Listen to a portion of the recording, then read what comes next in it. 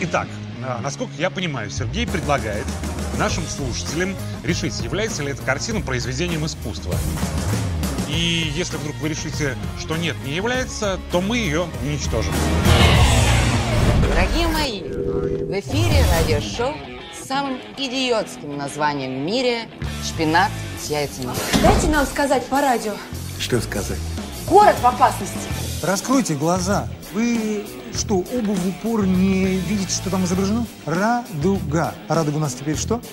Да, да, да. В моем доме за мои деньги, в моей спальне. Одна очень мудрая женщина сказала, и это даже не я, что половинка бывает только у мозга, таблетки и жопы. А я изначально целая. И чтоб слов я в эфире больше не слышал.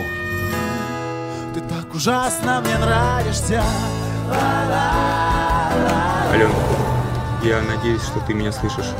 И я хочу сказать тебе кое-что действительно важное. Ты ужасно мне нравишься. Рубль может больше никогда не вернуться на прежний уровень. Вот! Вот! Понимаешь, что она хочет сказать? Больше никаких перспектив больше нет. А я ведь тоже своей Марусе в любви по радио признался.